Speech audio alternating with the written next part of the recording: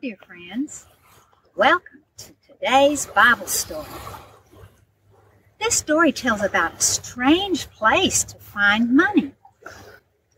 Long ago, all Jewish men who lived in Israel had to pay a temple tax.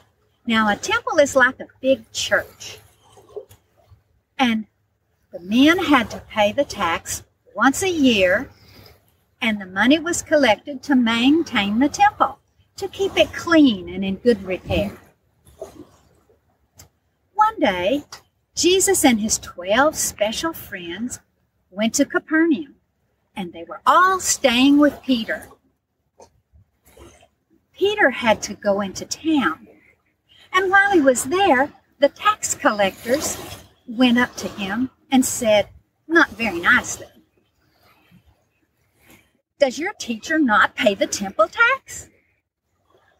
Peter said, Of course he does. When Peter went back to his house, Jesus knew that the tax collectors had spoken to him. So he said, Hmm, who do you think in all the kingdoms of the world, who do you think the kings tax? Do they tax their sons or do they tax strangers? Peter goes, Well, they tax strangers. Now, Jesus, the Son of God, said, Hmm, so the sons are free. But we don't want to offend any tax collector.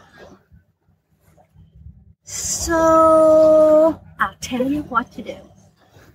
Go get your fishing pole and go down to the sea. Throw your hook in the water and take the first fish you catch.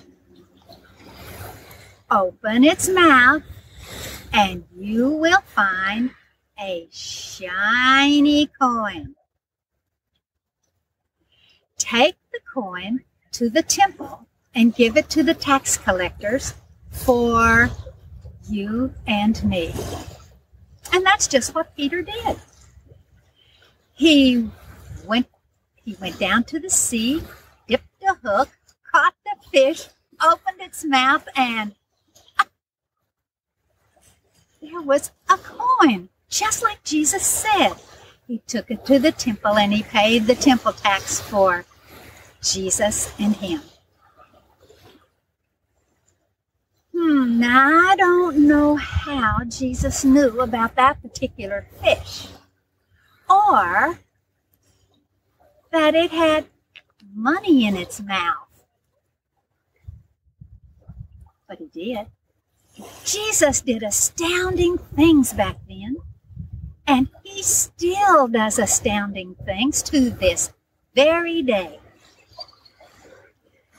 Jesus is absolutely amazing. Thank you for joining me today. I'll be back soon with another story. I love you. Bye bye.